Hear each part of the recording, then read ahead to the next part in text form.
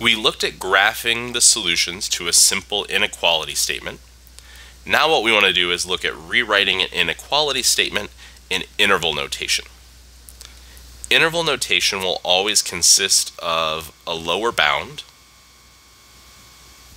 and an upper bound. So a smallest and largest value. If our inequality symbol is a less than statement, or a greater than statement. Then we'll use rounded parentheses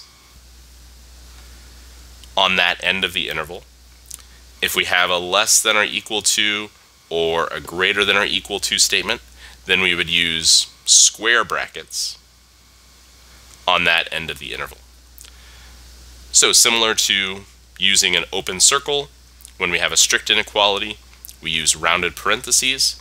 When we have that or equal to portion, we use square brackets. Looking back at example 1, we had the inequality statement x is greater than negative 4. That means the smallest value, the lower bound for our interval, would be negative 4. We're using a rounded parenthesis because negative 4 is not a solution. That's why we use the open circle on the number line.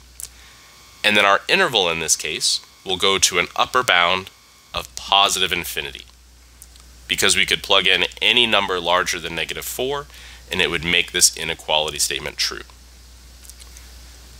Anytime we have an infinity symbol in our interval, interval notation, we're always going to use rounded parentheses. Looking at example 2, we have x is less than or equal to 5 that means our upper bound is going to be 5. That's the largest possible value.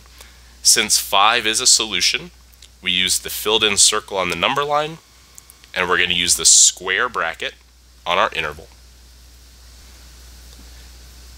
Since any value less than 5 would be a solution to this inequality statement, our lower bound will be negative infinity, and again, we always use a rounded parenthesis whenever we have an infinity at one end of our interval.